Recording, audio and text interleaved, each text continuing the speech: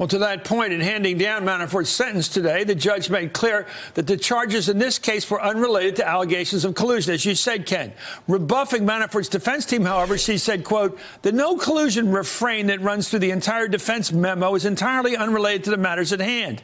The no collusion mantra is simply a non sequitur. In other words, has nothing to do with this case. However, Manafort's lawyer proceeded to hold a press conference where he falsely claimed that the judge had ruled that there's no evidence of collusion.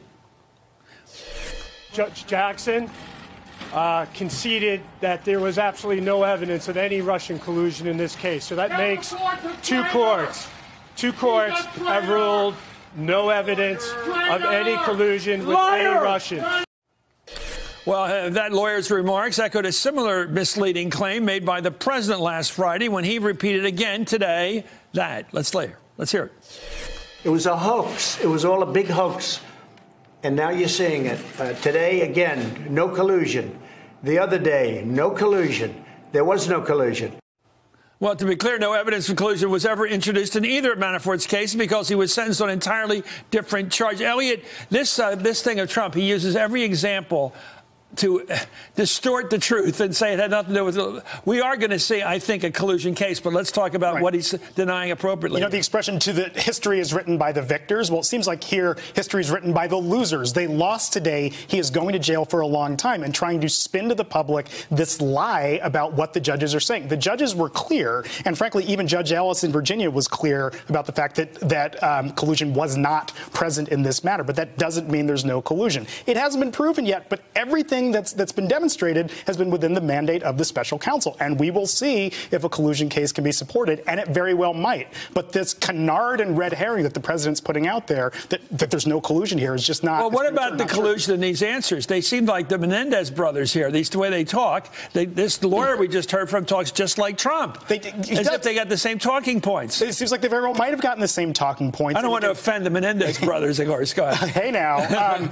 but no, it seems like they very well might be getting the same talking points or speaking with each other. But you know, the, the president is they are committed to spinning untruths because they don't have the facts and law on their side, and that's what parties do when they're losing. And um, it, it's a PR battle, not a legal one. Well, let's go deeper than PR. Ken, uh, you're not a psychiatrist, but I wonder how Trump goes to bed at night. I mean, I got you know, just when he thinks he's got his guy off, the chairman of his campaign this afternoon, this morning actually. Next comes the Manhattan DA's office with 16 counts against the same guy, Paul Manafort.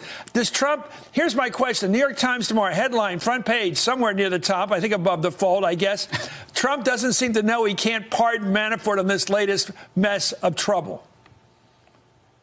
Yeah, I mean, that, that, there's clearly an effort here to make sure that Manafort doesn't get off the hook by prosecutors who are uh, sort of aligned opposite, who are averse to Trump and averse to Paul Manafort. Th- that said, that doesn't mean that there weren't crimes committed separate yeah. from the crimes uh, that, that Manafort was charged with federally. That will be the challenge, however, for the New York prosecutors to show that he that they are not. Uh, uh, subjecting Manafort to double jeopardy. And we do expect for Manafort's lawyers to argue that some of the actions that are implicated in the New York indictment are, in fact, the same that he with which he was charged uh, at the federal level. So, uh, you know, I think it, nothing else that extends this legal battle and probably will uh, cause Manafort to rack up, you know, uh, several hundreds of thousands, if not millions of dollars more in legal fees.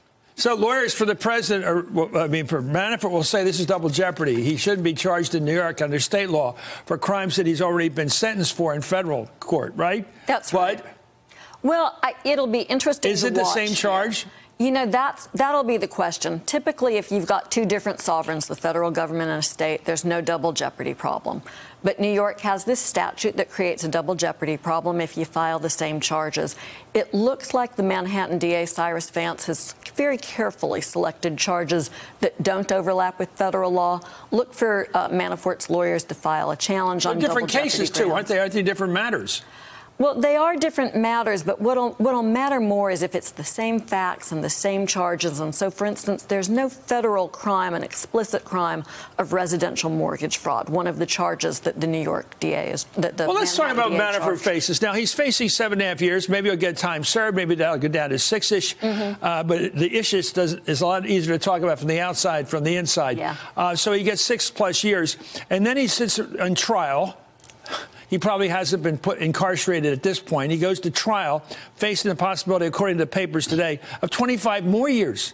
And that's that's This guy's already 60. He's, al- he's turning 70. Right. And he's facing 25 plus 6. He's going to have to be Moses to get through this that's thing. 25. I'm sorry. Go ahead. Yeah, ahead, Al, you I, I think talked that yet. that's oh. right. And most defendants don't like to spend time in state prison. They'd rather serve their time in federal prison. Conditions are a little bit better.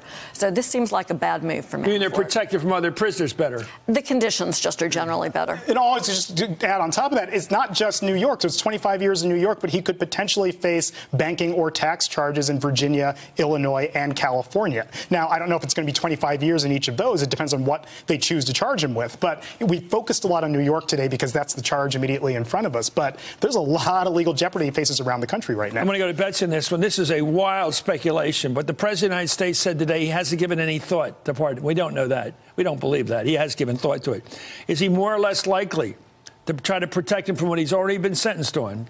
Get him free from the seven and a half, and then, you know, best of luck at the state court level. I think what's most likely is that the president will wait to make any move on this particular issue until after the 2020 elections. I talked about this recently with a person who's close to the president who said he sees an extremely low likelihood that Trump would pardon Manafort before his reelect because it would be so politically explosive. And Trump recognizes, even though he might say he's never thought about it, he recognizes that the political implications would be enormous. Hey there, I'm Chris Hayes from MSNBC. Thanks for watching MSNBC on YouTube. If you want to keep up to date with the videos we're putting out, you can click subscribe just below me or click over on this list to see lots of other great videos.